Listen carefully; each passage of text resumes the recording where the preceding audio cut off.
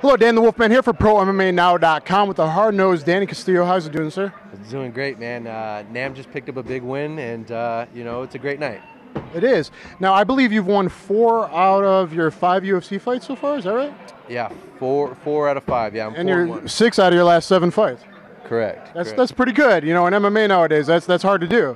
Yeah, yeah, yeah. I mean, um, I'm I'm in the big show, and um, you know I'm doing well, and uh, you know the only thing uh, that I need to do is keep winning. Well, I think it's all starting to come together for you. You've been in the game a long time, right? How long have you been? It's uh, I'm coming up on five years as a professional, so um, you know, but I've been wrestling my whole life. I, I feel like I've uh, you know I know what type of fighter I am and uh, what my strengths are and my weaknesses, and and that as a whole has made me a better fighter. I think your wrestling and your boxing have always been, you know, comparable to anyone out there.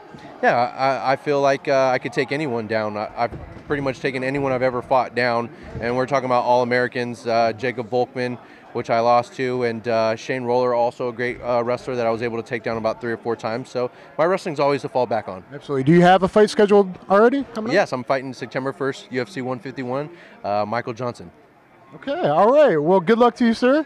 Thank you for talking to us today. And uh, anything you want to plug or your website or anything like that? Uh, not really. I, I guess I have a Twitter, uh, last call 155. I really want to big give a big shout out to Nam Phan. He fought great tonight. Cole Miller. They both had a tough fight, and uh, I got my fingers crossed for fight He of the night. deserves fight of the night. Yeah. I, I, I believe so. Uh, anyone So who far. saw the fight, anyone who saw the fight, uh, I think it's fight of the night.